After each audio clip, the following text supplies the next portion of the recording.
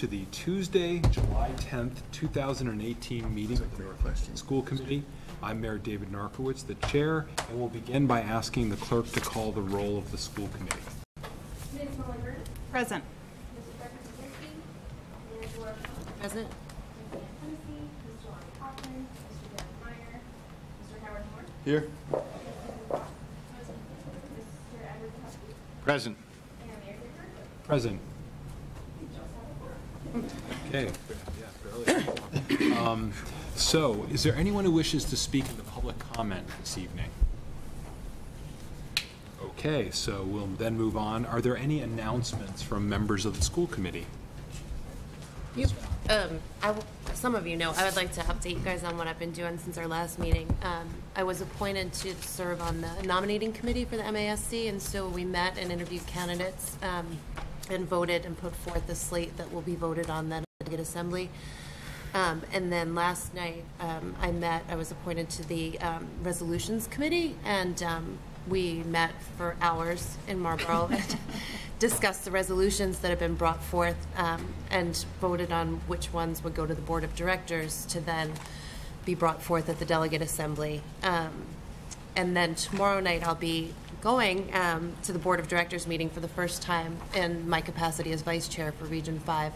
Um, And we'll get to discuss the resolutions again. Um, And I would hope that maybe this year the committee considers discussing the resolutions before having your delegate to the assembly vote on it, um, as some of them are uh, a little bit trickier than, than I think in the past. It's been pretty straightforward, and we could assume how the committee would, would want someone to vote, but I think this year you might want to consider discussing them as a committee. Um, And then the last thing is, um, next Friday and Saturday is the MASC Summer Institute, um, Friday and Saturday, and I'll be attending, um, and I don't know if anyone else was, but I think registration's still open, and it's really a useful um, program, I think, so, so that's it. Thank you. Will you be able to send the committee a link to all the resolutions when they're? Yeah, those usually, resolved? yeah, those, those, the official ones will probably come out um, about six weeks beforehand, so. Okay, thank you. Any other, uh, any other announcements? Okay, hearing none, uh, we'll move into the recommended actions portion of, the, of the agenda, and we have a consent agenda this evening that includes the approval of minutes of the superintendent evaluation team, uh, June 20th, 2018, a special school committee meeting, also on June 20th, 2018, and then the Rules and Policy Subcommittee meeting of June 21st, 2018. Is there, I'd accept a motion to approve the consent agenda. Move to approve the consent agenda. Second? Uh, There's been a motion made and seconded to accept the consent agenda. All those in favor, please say aye. Aye. Opposed? Any abstentions? Okay. Uh, Next, we have um, reports and recommendations, and we have a couple of uh, votes related to budget transfers. Uh, The first is a uh, a requested budget transfer to create a .5 preschool teacher position, and I'll turn this over to uh, Dr. Provost. Thank you. This one is very straightforward. It, when we created the budget, we had 11 kindergartens. Um, Kindergarten is always the grade that we have the least amount of certainty about, um, because we project students already enrolled just moving up a grade with some additions and some losses. But kindergarten is basically a best guess. At this point, we're confident that we won't need the 11th kindergarten. However, we do need to have a ninth preschool. And so my request is that we transfer this $30,000 from Bridge Street, which will be for the third kindergarten, to Bridge Street for preschool to create the ninth classroom. Make a motion to approve the budget transfer to create a .5 preschool teacher position. Second? Second. Any questions or discussions on that? Oh, sorry, yes. question. So, um, it seems like a kindergarten entire classroom would cost more than thirty thousand dollars. So if we're eliminating an entire kindergarten classroom, I guess I can move this, um, where does the other money go? Or how do I account for that? That stays in the budget. It's right now in excess that would allow us to deal with some uninspected antis- um, contingencies. Great, thanks. Mhm. Any other questions? Okay, all those in favor of the motion, please say aye. Aye. Aye. Opposed? Any abstentions? Okay, uh, next, there's a uh, requested uh, vote on budget transfers to create student services positions, occupational therapist, physical therapist, and two special education teachers. And I believe uh, Ms. Plummer is here to discuss this proposal. Hi. So I think I've mentioned this a little bit before when I've spoken to be, um, in previous meetings, but our department is one that fluctuates quite dramatically at times. And we definitely had some changes over the spring that occurred after the budget was finalized. Um, Largely, it has resulted in some pretty large savings for the district based on students who have moved to less restrictive environments. Some students have moved from less restrictive environments and out-of-district placements um, to placements that, um, for instance, from an out, from a private day placement to our collaborative, which has in, uh, resulted in tuition savings. Others have moved into the district, um, which has been quite exciting. Um, and the students have been very successful. And I think the piece that remains constant is as we find funding that, and we've presented you with a couple of things this year, that becomes available as students' tui- um, tuition money becomes available, we increase programming within the district. Maybe not spend all of that money, but spend some of that in order to try to increase program- programming to prevent students from leaving. So one area where we see some, um, a potential for a significant impact is at the high school, um, where we, we have been, well, through our audit this year, one of the things that came up, and you'll see that later when we talk about our mid-cycle review, um, this, the model that currently exists at the high school um, is largely a model where students receive their special education services through a learning strategies class, which is a quarter of their day. And I've mentioned this before to some of you that, that once you hit that mark, you ultimately are not even considered fully included in your day. So any student who takes learning strategies every day already is considered partially included in their day. It's a big chunk of time. Um, we've been working with Principal Lombardi and his faculty to try to create uh, different ways that students can receive their services in just that standard approach. And it obviously takes a lot of time. Some of the money we spent from our 274 grant this year was um, put towards a group of, of teachers and others who are studying the schedule. And obviously, that's a long term project. Um, but one of the things that's come up, we moved a couple of students back into the district who were in out of dis- district placements, is just our awareness of what we can provide versus some of the out of district placements. I think some of you are aware that Tri County closed this year really abruptly, and we needed to find placements for six students. Um, currently, I only have placements. I don't. I only have solid placements for two of them. Um, we're still trying very hard to find placements for some of them, and I'm confident that we'll get there. But it is a big process, and um, what we're finding, especially at the high schools, we have some students who are struggling, who folks aren't ready to say um, a private day placement is an appropriate placement for them, or even the collaborative necessarily. Um, that really we just need to think more creatively about the type of programming we're creating at the high school, and also hopefully try to bring on some folks who have more uh, experience with kids who have um, just need a little bit. Uh, just need to feel like they belong in a little bit of a different way. And so we've talked about creating a more behavioral uh, support program, which would involve needing a special education teacher focused solely on how to integrate engaging academics. I'm sure we are going to be able to have our BCBA on staff. We're going to have some support staff who are able to support the student socially, emotionally. Um, we're looking into contracting with the center school, similarly to how we did with Bridge Street this year, and we're still in the details of what that would look like um, with Principal Lombardi. But the one thing we're certain of is that we would need to have a solid special education teacher who's committed to that very small group of students, which may at the beginning only be a couple of students, um, in order to help create some creative programming for them. So that's the first position. Um, and uh, some of that is being, I mentioned in the memo, um, funded through some tuition savings that we have for students who've come back to the high school. The other position is more um, specific, and we've mentioned earlier that we've had the opportunity to increase our funding, uh, our programming for uh, deaf students at the high school. And part of that involved trying to create a more inclusive culture around the deaf community. And we've had, I think the last I heard was 55 students who've signed up for an American Sign Language class this fall, which is really exciting. Um, but what we've learned this spring by creating programming is what we originally thought was we would need a teacher of the deaf and a special education teacher, teacher of the deaf who could support the special education needs of some of our students, but also teach some ASL sections, and then have a paraprofessional.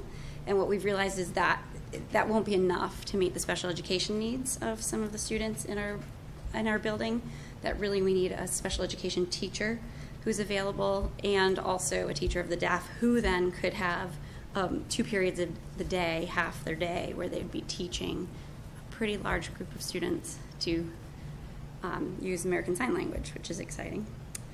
Um, the other two positions are a little bit more straightforward. We've had a really hard time with both um, physical therapy and occupational therapy. Sarah Harvey was our physical therapist for years, and she left us last year, and it was really hard. Um, and also, um, Jody, the PTA, retired after many, many years, and it was really challenging. We found a great PTA, but she's resigned.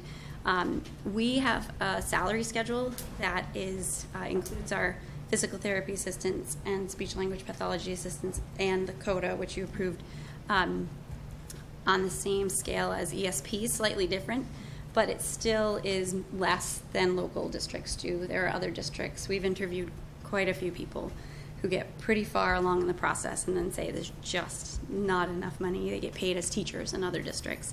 Or they can work in clinic settings and um, make a lot more money.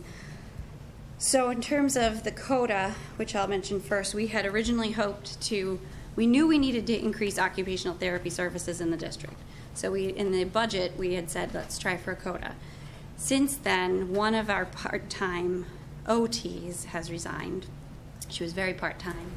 And we, and that person has been at the, high, at the middle school. And so we started thinking about, well, what's the likelihood that we're actually going to be able to get a COTA? Um, I started looking at the savings that if we were to bring on another OT, that we would save from having to contract out. We've been contracting out with HEC for some of our services for this year. So if we use that savings plus the savings of the person who resigned, plus um, plus some of the uh, the fact that the if we were to hire an OT, that person would be able to provide service for some of our out of district students. Um, it really seemed to be uh, just a, a good good plan to try to go for an OT. OTs are able to do direct service, but also evaluations. Um, so they have, and they're able to supervise um, in a way that COTAs can't. So it seems like we will have a much more likely opportunity to hire an OT than we would a COTA.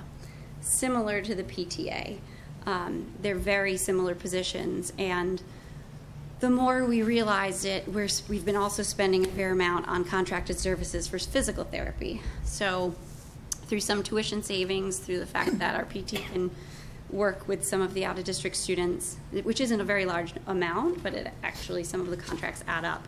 Um, we'd be able to hire a, a PT instead of a PTA.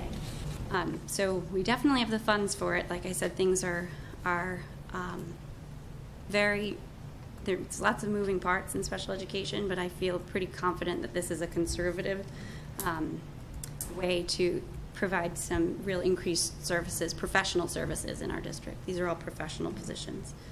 So. Are there questions from the school committee about uh, these proposals? I guess I have a, a question. I'm just Sure. trying to think about it. So, um, I see two, these, for me, um, these fit in two different categories. The second part, the physical therapy assistant and the, um, COTA and that set, seems like you found some efficiencies and you're replacing the a former position we had with a slightly different position, but filling the same needs and, and addressing the same group of kids. So I think I understand that one. Um, but the stuff that you described ahead of that, I just want to understand it a little better and I might have some more questions. these, there's a group of kids coming from out-of-district placements and um, with different needs, and some of them are going to go to new out-of-district placements, and some of them are coming back into the Northampton schools, which is terrific. So all of the students who the, but the savings are based on have already come back. And, and in the budget, it looks like that's, is it 115,000 or is it more than that coming back? Um, Is that just think part of it? Candy had looked at, right We're using 115 to fund the two teachers doing estimated salaries because they're not hired yet. Right. But the actual tuition money may be higher. Yes. Yes, okay, so, so I think that was part of my question, trying to understand this. We're not, we're not saying all this tuition money is coming back and we're going to spend it all on serving Right. This. This, is what you think you need to spend out of that money To hire to, position. to support this group of students coming back, but the cost of it is less than their out-of-district tuition. Is that correct? yeah. Okay, I mean, that's what I wanted to yeah. understand. Thank you. There's a pretty wide range of the cost of some of our out-of-district placements. They range from 40,000 to some are over 200,000. Sure. So this is a fraction of that money, and it's you saying, this is what we need to support these kids coming back, but Yeah. it's not saying, let's spend every last penny of this money coming back. And hopefully prevent other students Yes. from needing to. Yes. to- That's Yes. really the goal. And so what happens, and I'm just trying to understand this, the money that isn't in this 115, it goes with the extra kindergarten teacher, so we have a little more money to um, fall back on when we have other problems. Which doesn't Okay. always happen. Okay. At Thanks. the beginning of the year, right. Yeah. Other questions? Okay, um, Okay, I make a, a motion to approve the budget transfers to create the student service positions as outlined by Ms. Plummer. Been a motion made and seconded. All those in favor, please say aye. Aye. Aye. Opposed? Any abstentions? Okay. Thank you, and while you're, I guess while you're there, um, the next been a item on big the year. agenda is a report on the Coordinated Program Review Mid-Cycle Report. So, first year in this position, got to participate in two audits, which was very exciting. Um, And uh, the nice part about our, this coordinated program review is there really weren't any surprises. As Josh and Dave and I came on and really came into our roles, um, there were a lot of things I did this year that I didn't have my hand in too much in previous years. Um, and a lot of that came to do with like the little nitty gritty details of service delivery and some of the way we have processes and procedures in our office and how we handle certain things. So when we got, when we met with everyone, by just reviewing the files that they were going to look at, um, really we, we were pretty prepared to know exactly what they were going to say. And the nice part was we had already started developing those ideas ourselves about where we need to grow and where we need to focus. Um, so it, I really wanted to have a chance for Dave and Josh to come up here because this is a chance for them to describe some of the ways that they've been really involved. Um, but the first one, we're just going to go through the criterion. Um, it's important to know that they don't look at every criterion. We're in the mid-cycle, so they're really only looking at the areas um, that were partially implemented in the past. Um, but the first one was transition planning, and this is something that's been not just for Northampton, kind of a, a big push recently. The state came out with an advisory this spring um, for how to more effectively plan transition for students. Really, you're supposed to start at 14 and grow from there. So you have a 14 year old student at a team meeting, and you start talking about what are your plans for after you graduate. Let's help you get there, knowing that you can change your mind. But our job, our obligation, is to provide something in your IEP that helps you start develop those skills. Some other districts so I know I had a mentor who recommends starting in second grade that you start having conversations with with families about oh, this is a long-term process, childhood into adulthood, but it goes by very quickly. Um, so our plan already this fall was to really focus at the high school on some of the transition planning forms. So that's something that we we had already done, and we're going to be doing with more. Uh, we had already started talking with some of the folks at the high school, um, but largely some of that is a nitty gritty detail. It's making sure we have something called the transition planning form that looks pretty much identical to the goal that's provided in the IEP. So what happens when they do these audits is they look at a small number of files, and if they find two that have the same problem, you get a, you end up having to have some sort of corrective action. So we had a couple that need some work. So what we'll be doing on a lot of these uh, areas is we'll be reconvening those specific teams this fall.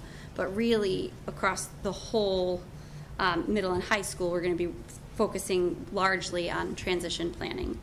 Um, so the next one is about progress reports, which is near and dear to Dave's heart. And he really came in hoping that we could jump head on into it. And I think we, we've had to slow down a little bit, but now we have our, um, our progress report that's due next October, so it gives us some uh, extra reason to focus on this next fall. So the progress report mandate, uh, at least as often as uh, uh, students or parents of students in the general population are informed of their child's progress, students with disabilities, uh, their parents have to be informed as well. So one of the things that was important to me coming in was the idea that the information contained within those progress reports, not so much just a compliance piece, but also the substance of it, was that it contained information that was both pertinent and relevant to parents, so they could both be uh, better participants during team meetings, but also so that the team, other members of the team's district side were using that information to both evaluate whether the IEP was doing its job and for planning purposes over the course of time. So, it, for example, how it feeds into transition from 14 on, so that we know we're moving forward. So it's part of it is how the progress reports are written, but it really starts before in how we structure goals, because you can't write uh, quantitatively about a goal that is not measurable. So one of the things we spent all year doing, and staff have been very receptive to, is in crafting their goals in thoughtful ways that are measurable, that are uh, feasible. So when we talk about not being data driven, but being data informed, thinking about when we're crafting a goal, what does that look like? How do we take a student's current performance level, where they are, and what are the appropriate metrics uh, given the student's individual uh, profile and presentation for that? And how do we craft a goal that we, we can then come back to every quarter or trimester, or semester, whatever the case may be, and make meaningful statements about how far along we are on that path? So if need be, we can reconvene the team and make alterations midstream if we need to change the service delivery model or something to make sure. So really where we've seen the progress this year was in staff's both perspective on the process, uh, staff's crafting goals so that the structure of IEPs from tip to tail at this point has become um, closer in orientation to allowing us to generate progress reports that are both quantifiable and really meet the desire, the spirit of the law in terms of being helpful in parents and other members of the team in being able to say where are we, you know, on the student's trajectory over the course of the year.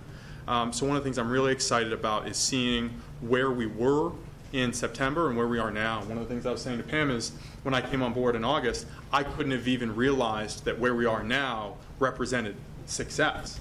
Um, and it's really uh, encouraging to see the steps that we made. And I think we're well poised not only to meet our uh, progress our progress reporting uh, obligations for the corrective action here, but just moving forward. So I think we're uh, staff has been very responsive to that, and I think we're in good shape. Um, to put it really plainly, I had a parent say to me, you know, I'm so used to getting progress reports that said how nice my child was and how much growth she'd made and how hard she was trying. But then I one that actually showed objective one, progressing, objective two, met, objective three, likely not to meet. And it just was, that's was the most quantifiable thing she had seen in a long time. And so we have a balance in Northampton, right? To go simply to, on this particular measure, the goal is whether they can do this 80% of the time, and they say so and so can do this 75% of the time. Some families might find that a bit of a shift to go from such a lovely qualitative narrative to just the quantitative, so it's something that we're working on in our shift. Um, the next one is timelines for determination of eligibility and provision of uh, documentations to parents. We've been pretty good about our timelines, um, but this year we uh, it's been very clear that we, and I remember this from when we had our full audit, we got commended for how responsive we are to families and how often we meet with families. And what that means is we have a lot of meetings that result in a lot more paperwork. Amendments, if we have over 600 students with IEPs, and each of them has a team meeting, but then each of them has an amendment, or one of them has six team meetings and two amendments and a transition meeting, every single time that packet of information gets sent down to our office and gets sent out. Um, and it's a, it's a lot. And I think we have the appropriate level of teaching faculty in our buildings. Um, But what we need to really work on is helping folks just stay on top of timelines. And so Josh is this whiz who's created this system that we're going to be using next year that I'm really excited about. I want to tell you about that. Um, So one of the trickiest things for all of our special education teachers, especially at the elementary level, with the transition to the inclusion model, was being able to sort of balance being in front of the students as well as meeting the requirements for paperwork and making sure um, by federal law we're required to have whenever a parent requests an evaluation um, or a student is reevaluated every three years. Um, we have to provide, complete our testing in 30 school days, and we have to hold the meeting and determine eligibility within 45. Um, and so it gets a little bit tricky with vacations and MCAS and all of those other factors that pop up. Um, and so one thing that our faculty felt strongly about, and one thing that we felt strongly about in our office too, is a way to sort of automate some of that, those processes. So that a week before you're supposed to have an, a meeting invitation sent out, you get a reminder that says Johnny's meeting invitation needs to be sent out. Um, and vice versa, once you hold the meeting, getting a reminder that says, don't forget you're supposed to be submitting your paperwork tomorrow so that it can get mailed out within 10 days to the families.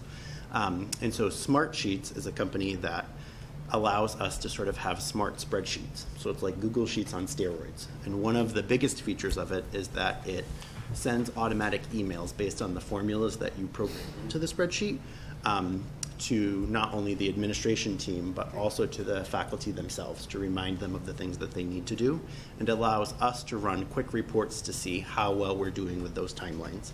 Um, and so that's something that we purchased this year, um, and it's almost developed. It's the reporting piece um, for the three of us that still needs a little bit of work. Um, but in terms of the spreadsheet for our faculty, that's what we'll be using. Um, and we tried it at the preschool level because we're a revolving target at the preschool level in terms of constantly all year long. When a student is going to be turning three, we have to evaluate them in a certain amount of time and make sure that we're providing services.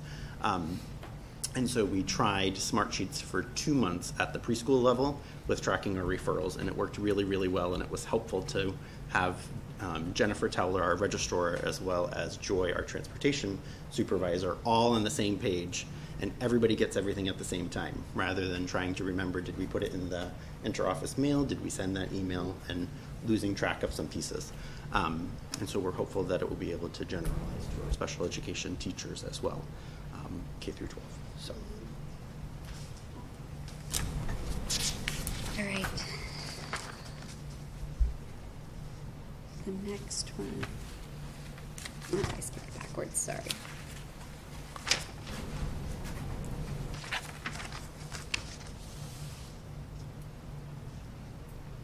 Oh, we had one that had to do with um, the PLEP A, which is um, the page that talks about the accommodations that students need around curriculum. There's a PLEP B that's around communication or behavior or social or assistive technology, but PLEP A is all about the curriculum. We've had feedback in the past that PLEP A does not have to be done for preschoolers. Well, we had two preschoolers with blank PLEP A, and we have a finding now. So we now will be doing PLEP A's for every single student. Um, I'm confident that it's not an issue for any other grade level. It's just that we had gotten guidance that that's what with the process that has been done for a very long time. And um, so we'll be changing that. That's a pretty straightforward one. Criterion 20 um, is a little frustrating because that was an area um, where we needed to focus um, last time. There's one section of the IEP um, that makes you state why it's necessary to remove a student from the general education setting in order to provide a service. And the statement has to be pretty individualized. It can't be cookie cutter. Um, and it can't be simply because that's the only place the service is provided. Um, so that has been tricky at our high school level. Um, if it's not necessarily based on the student's needs, it's based on the model that we provide. Um, so that again gets me back to our need to think more creatively about how we provide services at the high school. I will say that I have noticed a, I have noticed a qualitative shift, an anecdotal shift, in the IEPs that I'm seeing coming from the elementary schools, where there has been a move towards more inclusion this year, where I'm seeing IEPs that previously it was five times 60 pull out, five times 60 pull out, five times 30 pull out. Um, I see IEPs now that say um, three times 45 in class, two times 20 out of class. And in the non-participation justification statement, which is that section, it says the student needs to be in a quiet room to focus on discrete skills and in a way that um, the student isn't distracted. And it's much more specific. Um, and we just need to grow that. We need to grow that understanding. And folks have been pretty good. And I think one of the things I want to remind folks about the um, the audit is it's largely based on IEPs from last year. So they aren't really, the audit wasn't really based on IEPs that we've been seeing come across our desk. It was really ones that were created last year. Um, so I'm feeling pretty confident that um, moving forward and with our more training and with a renewed reminder that this continues to come up as an area that is partially implemented for us, our teachers are going to um, engage in teams in a way that's, quite thoughtful around where and how we're providing services for students. Um, so that's the last one. Do you have any questions for us? Any questions for Ms. Plummer and the team? Ms. Fallon? Um, is there a cost to the, I don't remember what it was called, the service to organize the software? Yeah, I think it was a thousand. It was, it was seven hundred dollars for the year. Oh, okay. Which we think is going to Yeah. be quite. Ms. Foss? Um, So I'm really impressed by your explanation of all of this, and it sounds like there's a lot of, it- so much progress has been made, and it sounds like you can cover it fine. But I guess my question is, it has to be done by the fall, and is that, is it something that's going to take away from your other work in a way that's going to make your li, your work with the students, which we know is very important, um, and I continue to hear feedback from people just how helpful you all are. Is there ways that you need more support to get this done so that, because it seems like you've had something added? I don't think so, only because we predicted it, and we were already Okay. planning on doing so much of it in the fall already. There was only so much change that we wanted to really kind of quickly impart on folks that we felt like they'd be able to, especially at the elementary schools where they were um, adjusting so much this year. And I think I don't think too, it, I don't think it will feel like that. I think that um, we're excited about creating some more efficiencies. The other piece that John has been great about um, is that we've really realized this year our office has like seasonal ebb and flows, and there are times when we're fine, and there are times where we are under literal three, four foot piles, and um, we have some clerical uh, funds set aside, and we have some lovely, wonderful secretaries who work in our district who are willing to put in extra time at not all the time, but when we need it. Um, they're amazing proofreaders. Um, they're they're skilled with using our online platform. We have um, Sharon from Leeds and Cheryl from Ryan Road in our office all this week, and so being creative about um, really being thoughtful about when we bring on extra help and the cost it, the cost of it and how efficient we can be. I feel really good about. We've kind of expanded our network of folks who can help when we get to really busy times to keep the burden off of our teachers and really um, keep it centralized in our paperwork. So. Other questions? Okay, thank you all for that uh, great report. Thank you. Okay, so the next item on the agenda is a report from the Superintendent Evaluation Team, and I believe that's being delivered this evening by uh, Mr. Zahowski. Thank you very much, Mayor. Um, Filling in for Ms. Hennessy tonight in her absence as our chair. The Superintendent Evaluation Team uh, meets uh, three times with the superintendent throughout the year. On June 20th, uh, myself, Ms. Hennessy, and Mr. Kaufman met with uh, Superintendent Provost to discuss the summative evaluation. Um, I'm going to use the notes, uh, the minutes from the June 20th meeting to kind of guide me through. Um, The evaluation team uh, reviewed each goal and standard with the superintendent, and he explained to us the over 100 pages, is that your book? I did bring my book. uh, Of evidence that supported the goals and the standards, which um, he was held uh, accountable for demonstrating um, to us. Uh, Some highlights in the big book included um, making 100 school site visits this year, helping to lead the district in applying for and being awarded an innovation pathway implementation grant, helping parents understand curriculum through transfer goal videos, giving a talk to the MASS, MASC on the district's expanding global STEM curriculum, being recruited by MASS to speak about supporting students with social and emotional learning needs, being asked by MASC to present to, uh, at the Summit on Poverty, learning new strategies for communicating and engaging in relation to difficult topics, serving as the president of the Pioneer Valley Superintendent Roundtable. These are just some of the things um, that were highlighted um, in his collection of evidence for us to consider. Um, The evaluation committee uh, told the superintendent how much of a pleasure it's been to uh, work with him and what an honor it is to have him as our superintendent. We did make a recommendation uh, moving forward as he goal sets for next year that, um, as he came to us last month, I believe, and, and asked about uh, rolling over some vacation days, we asked that perhaps part of his goal might be next year to find ways to use more of them during the year, as we thought it was important for social and emotional uh, health to take that time to kind of recharge and to um, better himself so that he can serve us in such a positive way. So this evening, I come to you as a representative of the superintendent evaluation team um, with a recommendation to the full school committee, um, as it's our recommendation to rate Dr. Provost as proficient in performance standards one, three, and four. Performance standard one is instructional leadership, standard three is family and community engagement, and standard four is professional culture.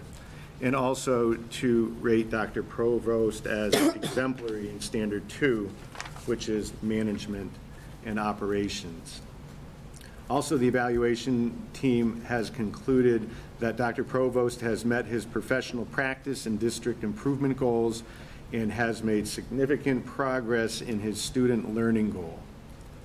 Lastly, it's the recommendation of the Superintendent Evaluation Committee to rate um, Dr. Provost with an overall summative performance rating as proficient. Thank you very much. Um, Is there, are there any questions or comments uh, about the evaluation? And can you remind me, do we take a, I think we take a vote on this as a whole school committee, so we'll. We do. We do, so. um, So do you want to just move that as, so we get it out there on, the- for discussion on the larger floor? Sure. So I would move to accept the superintendent's summative evaluation as presented by myself. Okay. And the- Second. and Uh, You're right. I'm Evaluation. sorry, the superintendent evaluation committee. Thank the- you. Okay. Is there a second? Second. So it's been seconded. So any questions? Do you have anything uh, to s- to say about it or re- reflect on it? I just want to thank the evaluation subcommittee for their work with me throughout the year. It's a five-step process, so two of the steps have to do with my own selection and um, evaluation of where the district is and where my practice is as a leader. And then we meet three times a year to agree on goals for the year, to monitor progress along the way, and to- to make the summative assessment. It is probably um, at least a nine or 10-hour investment of their time with me over the course of the year to make me a better superintendent. So I thank the subcommittee for that. Okay. Any other uh, questions or comments? Okay, um, hearing none, then I would ask for a vote of the school committee. All those in favor of um, of accepting the summative evaluation of Dr. Provost, please say aye. Aye. Opposed? Any abstentions? Okay, so that, uh, that is complete. Uh, Next, we have a vote uh, on a new job description. This is for the Innovation Pathway Program Coordinator, and I'll turn it over to Dr. Provost. Thank you. This job description matches one of the positions that was placed into the grant that's been referred to several times throughout the year. This person is primarily responsible for making sure that students stay on the pathway and complete the pathway. Um, I would note anecdotally that one of the pieces of feedback we got from the state when we were making our application is that they thought we were setting our expectations a little bit low. Um, We thought if we could enroll just 12 freshmen, it would be a good start. Um, We have exceeded that in terms of freshmen, we also have 14 sophomores. Um, The 10th grade is the second entry point. After that, it gets too late. There are too many courses, and students don't have a chance to make up. But the 14 sophomores who we weren't expecting have joined the program and are doing internships this summer. They um, have not only been happy to be coming to school and learning over the summer, but they've definitely increased the productivity of our IT department. Just as an example, um, last year, inventorying the computers at the high school took four days. This year, with um, one tech supervising 14 of our students, we were able to get it done in a day and a half. So this is a really good program, but it requires someone to keep them um, focused. And a, a big part of this will be um, assisting with transportation as students get into the college courses. Um, So that's why you see the, the pieces of this job description that involve having a license and being able to transport students. Okay. Yes, Ms. Byrne. Because it's a grant, it's sort of, it's only a limited amount of time at this point. Does that affect, Sustainability? yeah? Yeah, And so. How you- And how you pitch the job, I suppose. too. So one of the things that the Department of Ed has asked all of the districts who received the grant to do is fill out worksheets at- on, on an ongoing basis to capture the costs of programming, because the goal here is to come up with a separate stream of funding in excess of Chapter 70 that will be able to fund the programs going forward. Yes. Oh, Ms. Fallon. Um, was I wrong in thinking that at some point we had talked about them taking public transportation? You're Um, not wrong. Okay, and so, And that might still be an option. okay, but you want to have both options available? Is Yes. that what you're saying? Okay. Ms. Foss. Um, I just, I, I'm struck that, um, it seems very important for somebody to have a driver's license, I understand that. Um, and lots of people would fit that and an associate's degree. But this other thing you commented on, I think is super important, and that is the ability for this person, and it's bulleted here, to oversee each student's participation and completion and manage the student internships. And to me, that's a quite a bit higher level than some of those other functions. And I, I, I guess my question is, do you think we're going to find somebody that's really capable? Um, it, it, the recommended minimum minimum qualifications are two years of related experience. So that I don't know if that's enough for that important role, and I, that's just my question. And I think I'll honestly say, we won't know until we try it. Um, We think these are reasonable expectations. We think that we will get some people who, um, who might be, I mean, we're not thinking about any individual person, but we know people certainly in the IT field who've come through non-traditional pathways and have been successful. So we want to post it and see what happens. Other questions? So I would then entertain a motion to approve the job description. Motion to approve the job description innovation pathway program coordinator. Is there a second? Okay. Um, All those in favor, please say aye. Aye. Opposed? Any abstentions? Okay. um, Second job description, uh, the next job description is Professional Learning Community Coordinator. Again, I'll turn it over to Dr. Provost. And this position really is just a way of structuring additional hours for a teacher. Um, In the contract, we're able to provide teachers with additional work at $30 an hour. I think at some point in the contract, it might go up to $35 an hour. But we want to, when we do that, we want to be clear about what the expectations are. And this is a um, position, if you want to call it that, it's extra hours, really, um, to help us coordinate the work of the PLCs. Um, PLCs have been one of our most successful forms of professional development this year. They were one of my professional goals. Um, We ended up having many more PLCs than we thought we were going to have.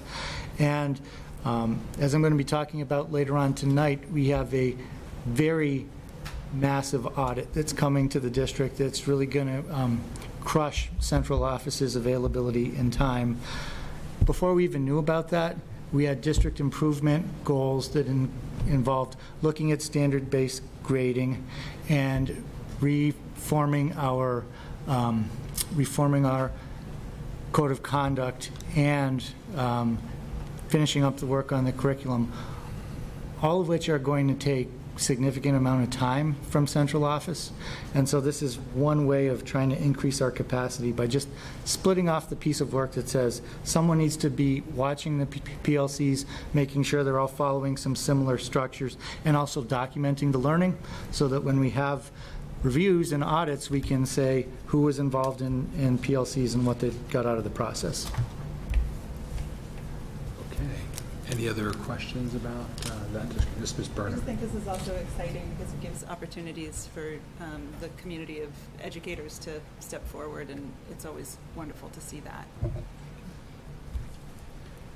So then I. Motion to approve the job description for the professional learning community coordinator. Second? Motion made second. Any other discussion? All those in favor, please say aye. Aye. Opposed? Any abstentions? Okay. Next, we have a vote to approve a MOA for the Unified Basketball Team Coaching Stipend. And I'll turn that one over to you, Dr. Provost. And this is a follow-up from the June school committee meeting at which we approved, or the school committee approved a reduced rate recommended by administration for students participating in unified basketball based on the, um, the fact that it's going to be a shortened season. Similarly, the administration recommended a reduced rate for the basketball coach because there'll be fewer games and fewer practices involved. So this MOU has been reviewed by your attorney and has been reviewed by NACE. It's um, in line with our recommendations and been found acceptable to everybody. So I would ask for um, approval of this MOU. Make a motion to approve the MOA Unified Basketball Team Coaching Stipend. Second. Second. Um, Is there any questions about this, including the difference between an MOU and an MOA? Sorry, sorry. Yes, Ms. Busanski. I'm just curious, so is the unified, ba- is golf, tennis, and cheerleading, do, do they also have reduced schedules? And, re- I mean, why does unified basketball kind of slot in so neatly there? Um, There is a, Same amount of time, more or less? There is a whole different um, structure for coaches. I think there are, I can't remember all the standards that went into setting the different tiers, but one factor was the number of games or practices. Another factor was the amount of risk involved in the sport. Um, I think another factor was whether you were supervising um, assistant coaches and so forth. So uh, I don't know offhand Okay. what the, what the rate is for golf or, or cheerleading. I do know what the rationale for this was, was they started with, or Kara started with the basketball coach's salary and said, well, we need to build back from that. It's the same sport, but it's going to be a different season. Thanks. So there's been a motion made and seconded to approve the MOA. All those in favor, please say aye. Aye. Opposed? Any abstentions? Next, we have another MOA uh, seeking approval. This is with uh, NACE on the musical course to be held outside of school hours. This MOA is really sort of the culmination of one of my desperate discussions to try to keep musical um, going in the district. As I said, the, the real crux of the problem from my perspective was that in renegotiations, um, similar to coaches, a standard set of um, rubrics was applied to all of the different stipends for activities, and it resulted in the musical stipends being reduced, which meant that it really um, was no longer such an appealing position for staff. That had to do with the snafu with scheduling last year. Um, part of the reason why it was going to be in the fall, but then kind of died when it was in the spring, is the idea was, well, maybe it's worth it if we only have to practice for a short period of time and get um, a production made, but if we have to be with the students all year, that, you know, certainly changes the value proposition. And so, um, one of the questions I posed in the context of those discussions was, well, what if this wasn't a stipend? What if it just was a class? Um, And I, I think that at the time, Bo Flayhive really sort of was interested in it, but it was too far gone. We were, you know, at that point, pretty far into the spring, and it was too late to pull together a musical. Um, But that conversation continued. And so this is an MOA that would allow an adjustment to the contract for her. So instead of teaching the same four periods that other teachers at the high school have, she would basically be on a split schedule. And she would come in later, and then her musical class would meet after the school day. Um, This would take the place of several of the stipends. There are a few stipends that would continue to um, exist in the contract for things that wouldn't be covered by Ms. Flayhive. For example, the um, costume coordinator, choreographer, we'd still need to bring in people for those positions, and they'd still be stipend, but, but um, many of the stipends, which were all combined in the position of the person who was more or less in charge of the musical piece of the musical, um, would now be instead taken care of by making it a class for her. Okay. Make a motion to approve the MOA with NACE on the musical course to be held outside school hours. Second it. So the motion is made and seconded. Um, Are there any other questions or discussions about this position? Gotcha. Oh, sorry, yes, Ms. have a Foss. question. Sure. Um, And I'm going to start by saying, I think this is a great solution. I understand the problems with the musical, so my question is not aimed at being against this. I'm just trying to understand an effect I think this might have and make sure we think it through. Um, So uh, a teacher is going to teach one less um, credit-bearing class during the, during the day so that we can na- enable this wonderful uh, activity that goes on that so many people are benefiting from. What happens to that missing class? Um, Are we going to have students not able to take um, whatever classes she teaches? Are they, other classes going to get bigger? Are we going to hire somebody to teach a one-off during the day? Is this an issue? We're not going to, um, we're not going to hire anyone else to replace the class that would be reduced. You are right that it is essentially a loss of a course from her teaching load. Um, It, neither the principal nor the teacher have seen it having an adverse effect on class sizes in the other classes. So um, the plan is not to replace that. I will, um, I will point out, at the same time that we're losing this class, we are adding a class of instrumental music, Um, so that might, to a certain extent, help with the pressure. Um, But the plan at this point is not to add any more sections. Yes, follow. I, I'm not that familiar with this part of the high school. What class are we losing? I actually don't know the answer to that question. I can get back to you on that. Or general, does she teach? So she teaches, um, she teaches the a cappella group, the Northamptons, that's a class. She Chorus. teaches, Just right, chorus, chorus. Larger chorus. Chamber That- that's choir. all. And chamber choir, right? Yeah. Okay. And, and I think that this is just, so one, is it one s- semester she's, That's right, is this afternoon class, and the second semester it goes back to the regular schedule? that's right. So there is, I mean, to sort of follow up on your concern. Yeah. Mr. I- Wall. And I, I- if I understand how this works, I actually think another side effect of it is a pretty positive one in terms of opening up the way that the high school is scheduled. Um, That students will now be enrolling in a class that meets in the, in a, in a time when we've never had classes meet before. And I think actually that's really positive. and, you know, I can sort of, in positive in terms of being able to adjust to students' lives, and in terms of adjusting to, you know, in other words, instead of doing an arbitrary model where we pick some times during the day when we have classes, and you got to come there and you got to stay until the end, and, and you know, sort of the, the true factory model of having a class that's based on an appropriate time, which you know, is makes sense to do it after schools, because that way you can have all these, really large number of kids available to do it for an extended period of time.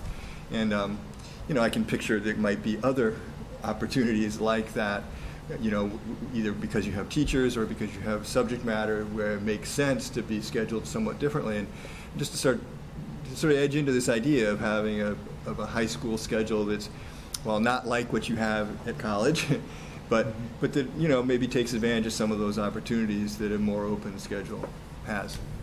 Dr. Provost. If I can just follow up on that comment with something that I don't think made it into the minutes from the of superintendent's evaluation meeting. That was part of the discussion around this. Um, My comment was something to the effect of, I don't really understand why we do all the things we do in schools. And, you know, anytime I see an opportunity to try something different, I want to try it, just to see what happens.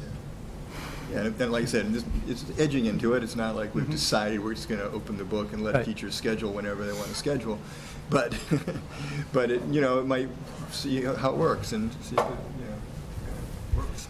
Before I go to, did you, did- would your, was your questions answered? I have a different question, so go to So her. after Ms. Busanza. Uh, Well, I'm very happy to hear that the, or see that the musical is coming back. I think it really was missing. So thank you for working so hard on that. But, um, and maybe I read this too quickly, but um, do, would students get cr- a credit, a class credit, a course credit for doing the musical after school? Is that? That, that has not been part of the MOU, because this just Okay, that's what I affects the contract. It really hasn't been a, um, a decision that we've made yet. Um, It, ha- I don't believe it's in the course of studies at this point, so it would have to be amended if it was going to be a credit-bearing course. Um, I just think there are a lot of things that, you know, we're trying this for the first time and we haven't really decided. Um, I'm not even sure, not being a musical person myself, if all of the students would go there every day, which you typically have in, you know, most classes. So I don't know the answer to that. So it still sort of sits as an after-school Right. The main thing that we wanted to accomplish with after-school was making sure that it didn't compete with one of the other courses in the schedule, because we thought that would sort of limit the interest in it. Of course, it creates the problem of that now it's competing with sports, but, you know, it's, But it's always, right. So that's But it kind of fits in, Right. is it still, it still fits into that winter sport time timeframe, that winter activity timeframe? Okay, thank you. That was exactly my question. My understanding was this was not for credit, and we were just, the memo of understanding was to try this very much one-year experience and see what happens, but not for credit. Well, we wouldn't address that in the MOU anyways, because this just reflects changes to the contract, the employment agreement. Okay, so, um, there's been a motion made and seconded to approve this MOA. Any further discussion? Hearing none, all those in favor, please say aye. Aye. Okay, uh, opposed? Any abstentions? Okay, so that MOA is approved. Um, Next, we move on to a fourth reading on the uh, request to name the basketball court at Ryan Road Elementary School Legends Court. So we're in fourth reading. Um, um, I did have a conversation with um, Mr. Kaufman, uh, and, um, and had he been here this evening, he had intended uh, to make um, a motion to request that we waive the fifth and sixth readings and, and move forward to a vote on the naming. Um, They're apparently um, going to be having a tournament um, that's going to be before we get through with the fifth and sixth uh, readings of this. Um, And so, um, and, you know, frankly, when the, when the surplusing and the, all the other approvals went forward uh, to allow this to be built, you know, or approval to allow it to be built by this outside organization to accept the gift, and not only by the school committee, but also by the um, city council, um, it was, the gift was to accept a court named Legends Court. So I'm not actually sure we have much you know, I mean, I think we've actually done a lot of belt and suspenders to approve this, uh, to approve this name change. So anyway, I throw it out there, uh, asking for a motion to approve this waiver of the fifth and sixth readings, um, uh, to go ahead and make the naming official, if someone was willing to make that motion. I'm happy to make that motion. Thank you, thank you. So I will move that we waive the fifth and sixth readings for all the reasons the mayor just stated. Okay. Um, I'm not seeing convinced from my rules and policy chair, but maybe somebody else will make a second on that. Second. Uh, Okay, so any d- questions or discussion on this? And again, we, you know, we just, uh, we did waive final readings to name um, the greenhouse at Jackson Street School recently um, to coincide, and so, um, yes. I mean, I just want to say that I think in that case, they did come right away and say that this person was retiring and this was a big concern. Yeah. So I do sort of kind of formally want to say that it is our rules and policy, and perhaps Legends came to the city council and said that they had a tournament coming up. But I don't, I don't feel that that message came to us. Yeah, no, I they didn't come to the city council. I, I meant that the original order I- was to create a court I called under- Legends Court. Right, but the, So- the push yeah. to waive the fifth and sixth reading is because they have a tournament That's correct. coming up. And I think the difference is that um, the retirement of Mrs. Bates was very clearly laid out and explained, and this, you know, this tournament must have been planned for a while, and I wish that that had been expressed Yeah. as well, so. And again, I don't think it's a killing matter if, if we approve this or not, because there's already a sign that says Legends Court, and there's already, you know, it's like, there's already bricks engraved up there. Um, I also feel that it's not, I mean, the other way that I feel this deviates from our policy is that we're not naming it after an individual. We're not, I mean, so that's just another, we're not naming it the, you know, whoever, fill in the blank name of someone, is being called Legends Court, um, which is sort of a little bit more general. So, anyway, um, so again, I intend to vote in favor, and if it doesn't pass, it doesn't pass, and the tournament will go forward. So, any other questions or comment? Is the current motion simply to uh, waive the readings and then hold a vote, or is the current vote on the name? Um, I think it would be to, because basically we don't take a vote on fifth reading, we don't take a vote on sixth reading. Um, We do take a vote on sixth reading, I suppose. So um, I guess it would be to waive, I think the motion was to waive fifth and sixth readings and vote to approve it. Yes, Ms. Busansky. Um, I am Two also going to vote for it. I, I agree with you, but I two think just reflecting on what Ms. Burnham said, we did have a conversation a couple of school committees ago where we, about the importance of the six readings, which I think, to me personally, does feel excessive, and I wonder if it's worth, we're now having sort of two examples where we all feel pretty comfortable by the fourth reading. I think Mary Bates's was also a fourth reading, right? But, um, anyway, it's sort of interesting to note that maybe six readings is a little excessive. It's worse than you think, and I'm going to turn to... No, all I want to say is, we really have been working hard on this policy. No, I know you have. We've worked on this policy for at least four subcommittee meetings. And, and Ms. Hennessy is responsible for bringing us the, what we hope is going to be the gold medal winning version of, um, of this new policy that will address the six reading issues um, for our next subcommittee meeting. So we're really optimistic that we'll get something to you that's different than six readings for the next. What I meant by subcommittee worse was that I think that the, I think the current rule actually reads six months, not six. Yeah, it does. It does. I wasn't going to bring Oh, that up. that's a good but- point. Actually reads six months. Yeah. Yeah. Six readings. So, um, and we sometimes have more than one meeting in a month, but we've just always, past practice has been six readings. Yeah, I think, I think moving forward, I'd like to see us have rules that we follow, but um, I think that past practice has been that we are willing to make exceptions. Yes. Can I just ask a question? Are those two different things? Wouldn't it be that we're, wait, we make a motion to waive the five, the fifth and sixth reading, and then we make the motion about the Legends Court name? You know, it, Or does it make no difference? I mean, the reading is the, re- I mean, a reading happens, if you'd like to divide the motions, we can. Um, Really, the fifth reading being waived automatically takes you to the vote Okay. on sixth, on the, theoretically, on the sixth reading. Separate thing. We could do a roll call vote if we really want to draw it all out. No, no, it's totally fine with me. It's fine, Um, it's fine. I was just curious. It seems like two. We could shoot the free throws. Um, So, so, so that's, I think, what- I think that was the Okay. intent of just waiving the, the final readings and moving straight to the vote to approve. I think that was the intent of your motion. That was my intent, and if you'd like me to modify it, I'd be happy. So it's obviously, if you, if you want to amend the No, motion, fine. you can. I was just Okay, asking. Okay. Um, Anyone else? Okay. Oh, yes. I'll add a comment to it while we're on it. I, I, I can see in cases where maybe six readings, you'd feel you wanted to hear them, but in this particular case, I'm very comfortable with this, partly because we've heard a lot of positive feedback from people coming in and talking about this, and we have not heard anything negative about it, and nobody is here tonight to talk about it. So I, I guess I feel really comfortable for those reasons as well, breaking our rules in this case, and, or amending our We're rules. not breaking our We're rules. not breaking them, We're we're really are amending not. them in a Yeah. thoughtful way, and Yeah. we're talking about whether or not it makes sense, and to some of us, it might. Yeah. Um, Okay.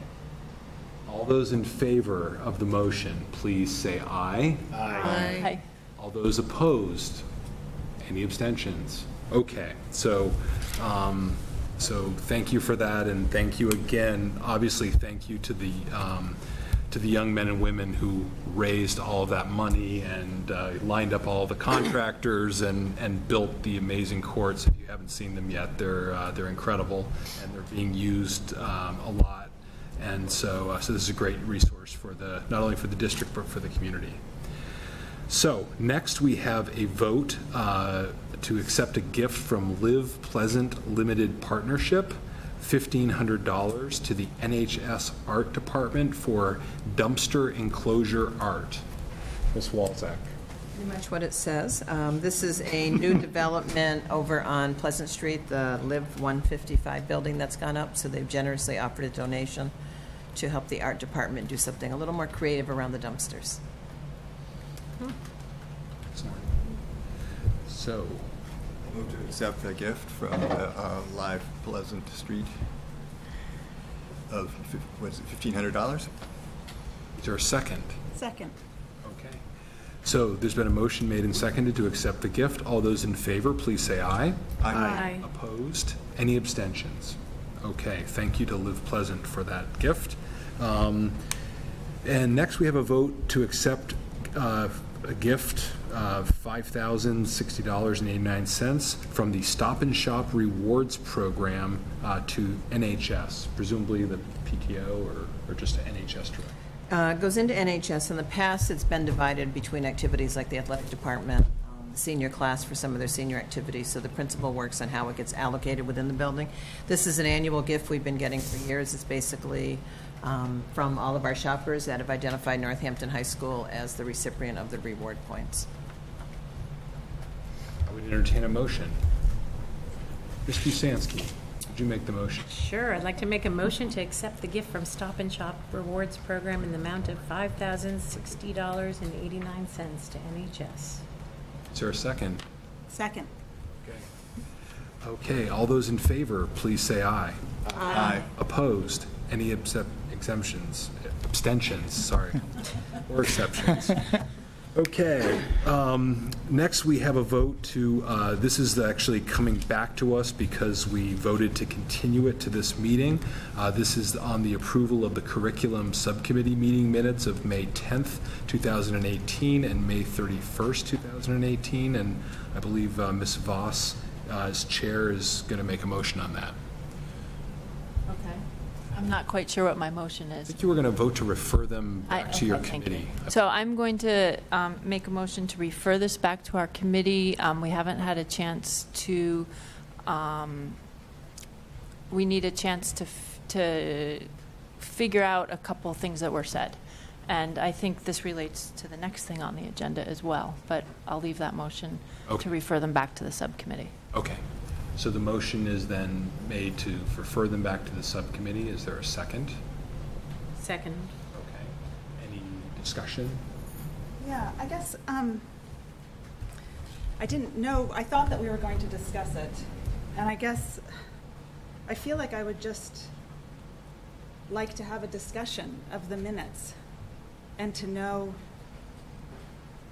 what is wrong and make changes. Well, um, So I think I'd like to move that we, I mean, can I make a motion that we, well, we have a motion right now to Right. refer them, so if that fails, then, then, then it this is, stays I'm here. just, so, but this is my discussion. Yeah. My discussion is I would really like to just talk about this Um, Yeah, my, um, the reason why uh, the recommendation was to um, refer it to committee, um, back to committee, um, is that in looking at the process that we had proposed, um, well, first of all, the practice of the school committee, and it's sort of in the rules, is that the minutes come to the full school committee to be accepted. Um, This has always been a little odd to me, because the school committee, all the committees create their minutes, and then they approve their own minutes, and then they get sent to the full city council, who then accepts them as part of sort of the overall record. Obviously, the, you know, seven of us can't really approve the minutes, because we weren't there to really know what went on. So it's sort of, a- it's always been an odd construct. It's never been an issue until recently, when then there was question about the accuracy of the minutes, or so just some questions about them. Um, So what we originally proposed was that, okay, we'll have the committee work with the clerk, send the clerk um, their corrections or revisions, and then the clerk would try to synthesize it all and bring it back to us. The problem is, is that when you look at the open meeting law, um, the open meeting law makes it clear that public bodies, and they define public bodies as, you know, committees, subcommittees, you know, um, ad hoc committees, any committees, are required to keep minutes of their meeting and then approve minutes of their meeting. Um, And that to approve the minutes, um, because it's not exempt uh, from open meeting law, involves deliberation by that body. So the idea that you could have, you can't really have a committee work it out amongst themselves outside of a public meeting. They actually have to get together and discuss it. They can certainly send stuff to the clerk who can try to compile it, but the committee then needs to think, needs to work it all out in a, in a, in a public meeting and then vote on it. Um, So what I was proposing to do in the next round of motions was to send a couple of our policies to the Rules and Policy Committee because it's sort of silent on the issue of, you know, subcommittees and what they're supposed to do with their minutes. Um, Our, our, uh, our actual, uh, you know, um, rules of order talk only about the full committee's minutes. It talks nothing about the subcommittee. Um, And even the policy on minutes itself is silent about how subcommittees are supposed to do that. So, um, so uh, the question was, we could try as a whole committee, it just didn't, it just didn't seem to fit with how this should be done, to have the entire committee discussing whether, uh, questions about the minutes of a subcommittee that only three of us were at. So that was why the recommendation was either to continue it again, um, because, because it also puts um, the clerk in the position of, she got, well, she got one resp, she got two different responses, she didn't get a third response, um, and how would she be able to then try to synthesize that? Um, So I think that was the idea, was to have the committee um, try to figure out the synthesis of that. So that's the, that's the background on it, um, in trying to sort through. And again, this has not been an issue that's come up before, because I think we've just definitely, the minutes have come forward, they've been accepted by the full school committee, and that's how it's worked. But it did kind of expose sort of an oddity in the way, in our, in our practice. Um, So that's the background on why I was going to recommend we put the, but we still have a motion on the table to refer to the subcommittee. And I- Is to refer the, To refer those, those, those those two sets of minutes Yeah. back to the subcommittee to, I don't know what, um, To. rewrite them. No, to meet and to, to meet and to have the different versions or the different questions that were presented individually to the clerk, um, you know, to, to then try to sort that out and vote and approve what they all agree on are, are the minutes for the meeting. Because you can't, you know, for example, um, Ms. Burnham and Ms. Voss can't have a discussion about what they think the proper, because that would be a deliberation by a quorum um, outside of a meeting. So, and then my goal would be going forward, we just establish it as practice that meetings happen, minutes are taken, then at the next committee meeting, those minutes are approved by the subcommittee, and then they go to the full committee to be accepted. Um, So that's sort of what I think should happen. Um, So again, oddly enough, the open meeting law is silent on how you approve minutes. So, I mean, you couldn't come up with a different way of approval of minutes if you wanted to. Um, I've read more about this in the last week or so than I ever wanted to imagine, reading the Attorney General and all the other stuff, the guidance on it. So that's, so that's sort of the backstory on this. Yes, Ms. Fallon? I do have to say, I find it frustrating again that now you're saying, you know, well, our past practice was this, and this is what our policy says, but I'm recommending this. If, I, I understand that you want to refer those policies for the subcommittee to address, but it is frustrating, I think, for Rules and Policy Subcommittee to work really hard on policies sometimes and then feel that occasionally they're they're just not disregarded, but, you know, that we make exceptions frequently. That's all. I, I feel like you just argued that this But has I'm been saying a- there's- for past practice, and I'm saying this has always been our practice. But I'm saying there's actually nothing in our policies that, that even supports the current practice, much less what I propose. Right, but then, so then you would look at past practice, and you're saying past practice has always been to approve them in a full committee meeting. And you're saying past practice was that we approved other namings on the fourth reading. I was just saying, past practice was that we just a- approved minutes at this meeting, and until we change the policy, it seems like that's what we do. Either wait to refer it back until the policy's changed, or wait until address this And until. and that's the pleasure of the full committee. There's a motion made to refer the two sets of minutes back to the committee, but certainly the committee could say, well, that's not our practice, and we can, we'll, we'll, we'll, we want to maintain the current practice until the practice has been changed. That's certainly within the purview of the committee. But certainly referring something to a committee is not a violation of any rules or, what I'm, what I'm saying is that if there's a, there's a clear disagreement among the three members of the committee about what the minutes should be, and there's no way for them to communicate about that except in a public, in, in a open meeting. Um, So it either has to be at the subcommittee level or it has to be at the full committee level. And so I- I just, um, well, it was, it was, ref- it was continued to tonight, and so that certainly could be the, that certainly is the case. So there's a, but there is a motion to refer, and so we should vote on the motion, and then we can figure out what we want to do. Yes, Ms. Voss. Thanks. So, so as the mayor said, we have a motion, and I'll just say I could imagine another motion if people aren't happy with this one. And thank you for that description, because that, in some ways, if these two items had been reversed on the agenda, it might have made more sense. So what was just described is essentially the next motion, and that's the background story for it.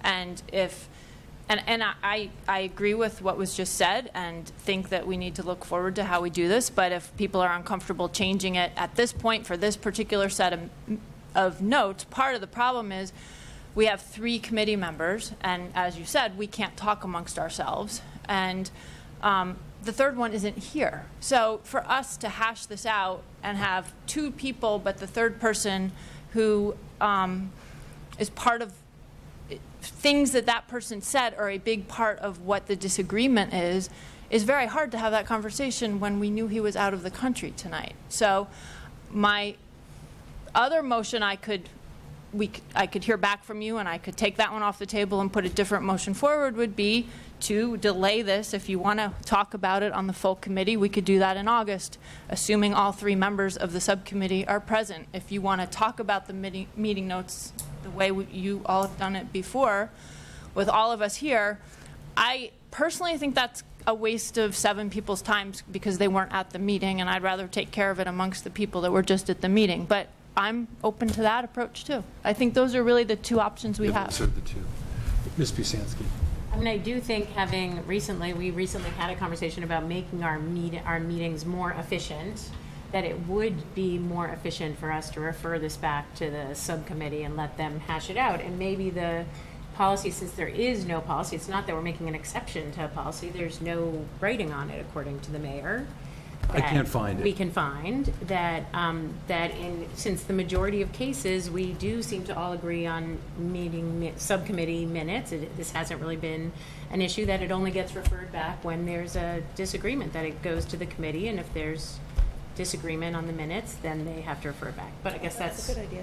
That's for the pol- rules and policy to decide. But to me, it feels like, I, well, I agree with Dr. Voss, what she said about the third member's not here, and also just for the sake of efficiency of our meeting, it feels like it just would be more efficient for the subcommittee to, you know, figure it out and finalize the meetings themselves before it comes to us. Okay, so before we get too far ahead, um, there's been a motion made to refer these two minutes to this curriculum subcommittee. It's been seconded, and I'll ask all those in favor of that motion, please say aye. Aye. Aye.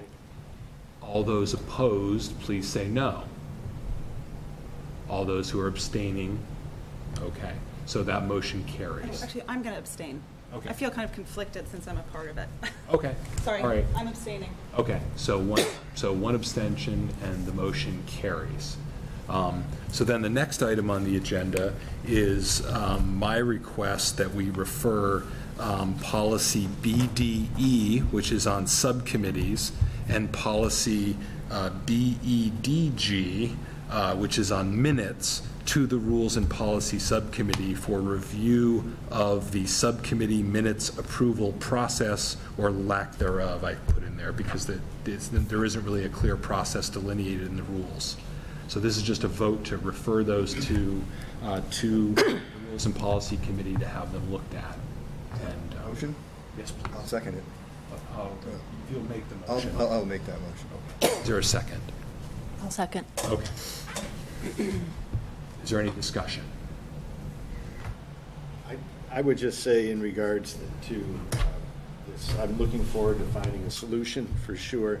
Um, As I look at the dates, I mean, one of the dates is um, May 10th, so I'm not sure when the subcommittee will actually meet to kind of go through this. Um, I'm 47 and my memory is okay, but as I get older and time goes by, I realize that it's harder and harder to really recount the facts that occurred on those dates. And so my concern is that if this is going to be part of our policy, we're going to look back, that um, there are some of these subcommittees that don't meet all that often. So if we have a discrepancy on uh, the meeting minutes, and then we don't meet for another three or four months, and then as we go to go over them, trying to recall the events and do a really good job of making sure that it's captured what happened. Um, We have a very able clerk that sits there and does a very good job, in my opinion, of capturing exactly what's happening on that day. We don't have to think about it, we just need to have our conversations and do the work that's on our agendas for those days. And, um, you know, my experience has been that, um, and, and I, and I trust the work of the clerk to do a very good job in capturing that, knowing that in all humanness, from time to time, something may be misrepresented. So my concern would be just moving forward, that if we're going to look into this and we're going to have the, um, the policy of approving minutes before they come to the full board, that we're not meeting several months later to approve minutes and then try to amend them when we can't remember what day it was on, never mind what we were talking about. It doesn't make any sense to me. Well, one of the recommendations, and I'm, I've told the chair already that I'll, I'm going to make some recommendations to the committee about what I think about this, is that, um, again, I'm turning to my experience on the city council. Um, I think we should record the subcommittee meetings um, somehow, that we should either do an NCTV recording, which all the subcommittees of the city council are recorded, or even just a, a voice recording. That way that there's a record in case there is. And that helps the clerk too, because then that'll provide, you know, some, something for her, a safety net for her, um, if there's any question about the accuracy of them. It also makes it easier for her to, maybe to compose the minutes. If there's something she's unsure of, she can go back and listen to it. Um, The only thing you just have to do is announce that the meeting's being recorded. So, yes? How does that work? Do you guys maintain the recordings until the minutes are approved and then record over it, or are you then responsible They're for actually on storage? No, if you were to audio record it. Is it like a? The a- only thing um, that's required would be keeping, them- keeping the paper. Um, What we do with NCTV, can I see Jen? Yeah. Yeah. We have a little camera and they upload it. There is a camera in this uh, room right here. You'd have to ask a custodian for it, but it's for you guys if you want to use it. So they actually have a camera for us, just like they have a, That you could Roll out and use in this room or a different room in the school. It just needs to go back into that closet. And then you, it just gets turned on, turned off at the end, Yeah, and you just let us know, we'll come and pick it up and upload it. and then you guys retrieve it, upload it, and it goes on to YouTube and the NCTV site. And then it's there. Um, And all the city council subcommittees just turn on their camera. Um, And actually, most of our other boards and committees do the same thing, just manually, like the zoning board, the planning board, the tree committee, they just, Yeah. yeah, they just all turn on the camera as part of the deal. So um, it would also allow the- maybe the public greater access to some of our meetings as well. So anyway, that's just a thought. Yes. Just building on comments that were just made, um, I completely agree. When many, many weeks go by, it can be hard to remember what was done at meetings. And I'm wondering if your review of the meeting process, the minutes, is there a time frame when the meeting notes should be out? So for example, I feel like we're inconsistent in terms of getting notes from these meetings, and they are recorded, so it probably feels a little less urgent. Um, clearly, the notes are super important because you want a record of what actually happened at the meeting, right? And I don't know what our what our practice is in terms of how quickly these get turned around in general, but I think I've my short time here, I've seen very different lengths of time printed on different meeting notes. Yeah, the, um, And, interestingly, the open meeting law actually says, um, it's ridiculous, I think, but I think it says like 30 days or three meetings, whichever is longer, is what the open meeting law says. Um, So the open meeting law sets a limit on them. Uh, And obviously, the draft minutes are always required to be released, like, on- upon request. So if you don't, if you haven't approved your minutes, you're always required to produce the draft, even if it's just on legal paper. Um, But I, I don't know what our rules are about that. Um, So, but I mean, again, three meetings, again, you, you may only meet once every couple of months, so it's probably, you know, I'm just saying a subcommittee may meet. So I think we're not violating that, but we may want to set up rules uh, around that too, I don't know. Well, and, and bring it up because when, if it's going to go to a subcommittee, maybe we want to add to the um, desire to have something there where, under normal conditions, the committee would review the meeting notes within so many days or months or whatever you think is reasonable. Okay. So that's, and again, maybe that's something we can, if you want to communicate that to the committee as a suggestion, that would be great. Um, Okay, so again, the, the motion is just to refer these policies to be looked at. um, uh, And uh, any, any further discussion? All those in favor, please say aye. Aye. Aye. Opposed? Any abstentions? Okay, the next item on the agenda is the Business Administrator's Report. Yes, there's no financial report this month. We are in the process of closing out the books, so I should have a final report for you at the August school committee meeting. Um, To mention, as you're aware, we took in students this year that were displaced by Hurricane Maria. The state had a couple of rounds of state aid, state reimbursement for us that came through. The total amount that we ended up receiving as of last week is $21,219. They allow us to use that this year or next year, and since we had already allocated and transferred money to cover the expenses this year, um, and right now we do not need it to close the books out this year, we're recommending that money be left and be available to help the budget next year for any additional tutoring cost or any other expenses that come up. It doesn't have to be designated to a specific need. Um, School lunch debt, um, I don't have this year's debt for you yet. We are still collecting, and we will be making the payment from your budget to the food service budget next week, based on what payments have not been made by parents for this school year. We're still collecting money in. We actually, with the help of an administrative assistant at the middle school today, received a check for $700 from one family to bring the debt down there. So um, I will let you know in August what the total amount we were required to pay this year ends up being, and I'll give you the history on the last couple of years. Um, and then we've talked in the past, we had referred seven families that owed us in excess of $500. It was actually, the highest one was close to $1,500. We had our lawyers send out letters to those seven families. Um, Three, we are still trying to reach. The letters came back as undeliverable. We're still working with the attorney on that. Um, Out of the four that received the letters, three have now agreed to payment plans, and the fourth one is in discussion and just hasn't wrapped up a payment plan yet. And we've received at least one payment from those three families that have made an agreement to a payment plan. One of those payment plans being the family that owed the most money. So we've made a little bit of progress there, and um, hopefully we'll get people more on track with this. Uh, Gifts.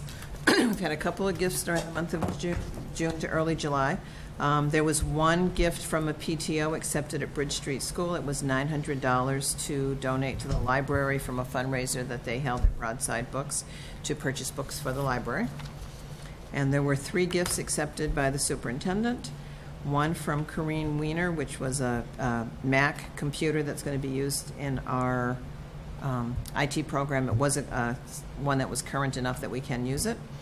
UMass donated a gift certificate to Broadside Books in the amount of $1,000 to Jackson. This was because of Jackson School's involvement in a uh, survey project with UMass. So as a thank you, they made a $1,000 donation that will allow them to buy some books for their library renovation project. And then we had a donation from Tish Sirani and Vanessa Van Steele of $630 basically to cover student debt at Ryan Street School. They had contacted the principal and asked what the debt was at a certain point in June and actually wrote us a check to cover all the debt on the books at Ryan Street School at that time. Um, And to remind you, this is actually the second time that parents at Ryan's uh, Road. Ryan Road School, something wasn't sounding right. three times. It's the second time this year that parents at Ryan Road School have made donations to underwrite the debt of other students. So to this family and to the family in the past, thank you very much for those donations. And then lastly, you have copies of the two warrants that have been signed since your last school committee meeting by your designee.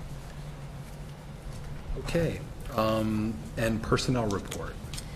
Yep, uh, June was mostly separations. We saw 19 employees leaving the district, as well as non-retirements, um, which were people that were honored at our last school committee meeting with the retirement reception. And then we had one new hiring of a secretary. Okay, next we move to the superintendent's report. Let me start by also adding one more separation that I haven't had an um, opportunity to communicate with the school committee. It happened um, quite quickly when I was out of state. Caitlin Champagne from middle school has left for a position in Westfield. That position is posted. We have not found replacement for her at this time. Um, But that'll be another change to our administrative leadership team as we look into the next year. So, um, Last Friday, I was informed that Northampton had been, quote, "selected for an on-site district accountability review under provisions of Chapter 15, Section 55A by the Office of District Reviews and Monitoring."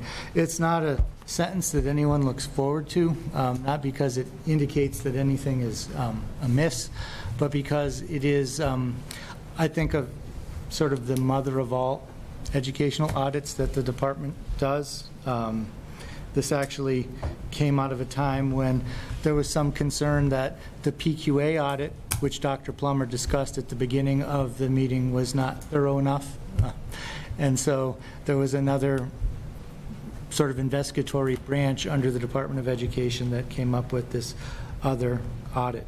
Um, in terms of hours that it, it takes to prepare and um, actually participate in this audit, I can tell you that it was the majority of the work that I did as my practicum for the superintendency, and you need to do 300 hours for that. Um, So this is, this is huge. Um, So I've been looking back at where Northampton has come since the time of its last district review, which was in 2012.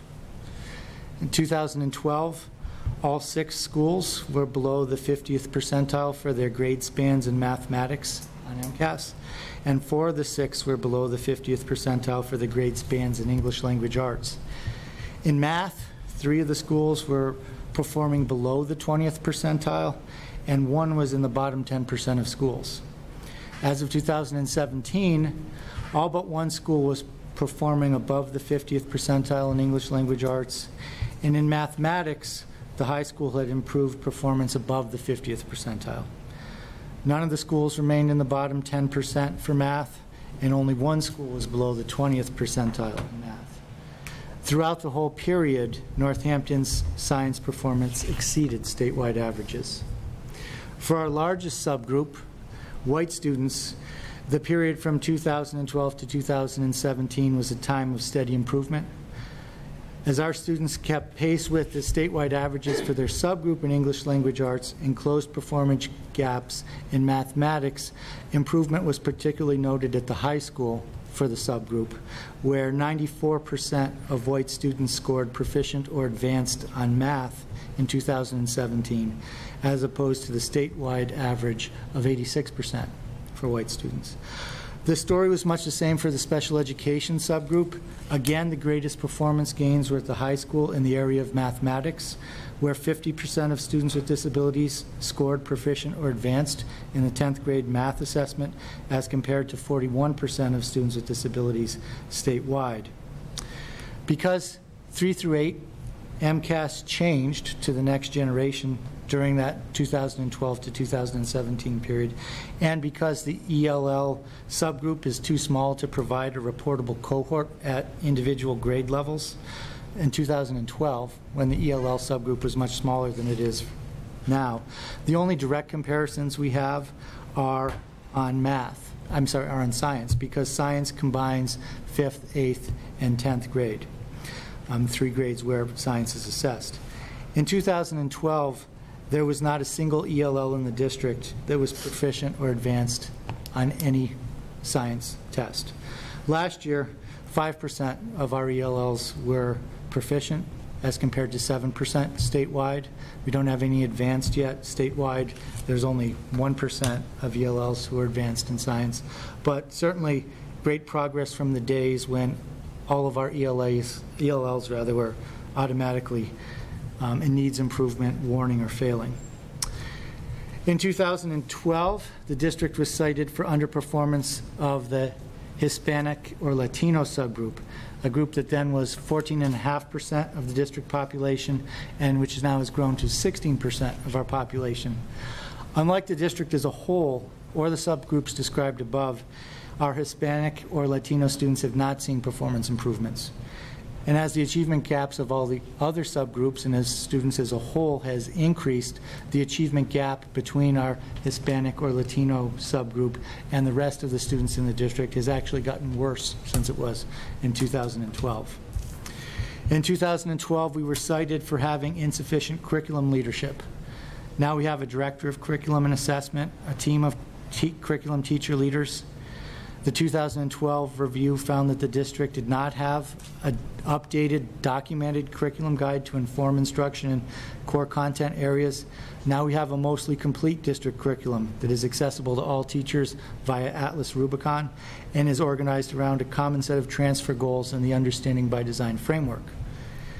In 2012, the district, the review team concluded the district does not yet have a balanced and comprehensive assessment, sys, uh, assessment system from kindergarten through grade 12. Now we have an RTI system based on universal screening, on-demand assessments which are embedded within our documented curriculum, and we have an extensive list of district-determined measures. In 2012, the district was cited for having limited technology capacity. Now we have wall-to-wall Wi-Fi, a growing fleet of devices, a strong team of technology integrators led by a digital literacy and computer science coordinator, and even an IT innovation pathway. We also have a data dashboard which gives teachers simplified process for accessing their students' relevant information. In 2012, the reviewers found that the district uh, district-wide supervision model does not exist. Now all licensed staff, including the superintendent, are evaluated using the Massachusetts model system. Professional development was also cited as a deficiency in 2012, in part because district PD expenditures failed to reach statewide averages on a per pupil basis, partly because teachers did not have enough time for professional development, and partly because the PD committee was not active or connected to the central office administration. District PD expenditures are still low uh, as compared to similar districts and to the state, but we now have job embedded PD through our two academic coaches and our four technology integrators. We also have an active PD committee that the curriculum director sits on. And so I think we've made substantial progress in this area. I hope the reviewers will agree Um, We still do have the problem with money, but I think we have a much more robust system of professional development than we had in 2012. In 2012, it was recommended that the district increase supports for students of color and low-income students to encourage more of them to participate in honor and AP courses. This is an area where we have yet to make progress. Um, fif- This is something that I asked our high school administrators to look into as part of the new accountability system that's going to replace the accountability system we had under the old MCAS. And so I can tell you that 54% of last year's 11th and 12th graders were enrolled in advanced STEM classes, but only 23% of students of color and 19% of students with disabilities were in advanced STEM classes. Looking back to AP courses in 2016, 86% of the students taking AP were white, only 5% were Hispanic or Latino, and just 3% were students with disabilities. So I think that finding continues to exist and is something that we um, have yet to make progress on. Finally, the district was criticized for producing inadequate budget documentation and for directing too much funding to special education, thereby draining resources from general education programs. As you know, the entire budget process has been revised and, in my view, greatly improved. And I'll just point this out as one point of comparison with respect to special ed. The FY19 budget includes less for out-of-district tuition than the FY 2012 budget had when that, when that finding was um, made. Um, It was 8% in 2012, it's 7% in 2019, and that means something when 1% of your budget is almost $400,000. So the deficiencies, uh, of the deficiencies noted in 2012, I believe that we've corrected about half and substantially improved a little less than half. I don't believe we've done what's necessary to allow our Hispanic or Latino students achieve at levels that can be reasonably expected. And I don't believe that we've broken down barriers preventing students of color, students with disabilities, and economically disadvantaged students from accessing the highest level courses at our high school. I hope the reviewers will mainly agree with this assessment and our progress towards correcting our past deficiencies, and I hope the process doesn't reveal too many new weaknesses that were not present in 2012. Most of all, I hope they can help us focus our energy on fixing what I see as the two remaining problems from 2012, improving outcomes for our Hispanic and Latino students, and ensuring that our highest level classes reflect the diversity that we value in our district. So I'll tell you that based on my past experience, preparing for this audit is an eight-month campaign. On top of the other initiatives that we've already included in the district improvement and plan and our anticipated beginning of contract negotiations, I think the district central office team is likely going to be pushed beyond capacity. Um, So I just want to put that out there. I want to apologize to everyone if I seem less available or less present during the next eight months. There will not be 100 visits to schools in the upcoming year. Um, We're really going to have our hands full with, with this process. So I just want to be proactive in asking you and asking the parents, asking our faculty and staff to understand if we have to put things on hold or if it takes us a little bit longer to get back to you while we are involved in this district review. That's my report. Okay. Thank you very much. Um, There is uh, no business on this evening's, new, new business on, new business on this evening's agenda. Uh, Future business and meeting dates, we have a Budget and Property Subcommittee meeting on July 26th at 1 PM in the Superintendent's Office. The Rules and Policy Subcommittee on August 2nd in the Superintendent's Office, that's at 9:30 a.m. And then the School Committee meeting next is August 9th, 2018 at 7:15 PM here in the JFK Community Room. I would now entertain a motion to adjourn. Move to adjourn. Is there a second? Second. All those in favor, please say aye. Aye. Opposed, any abstentions? The meeting is adjourned.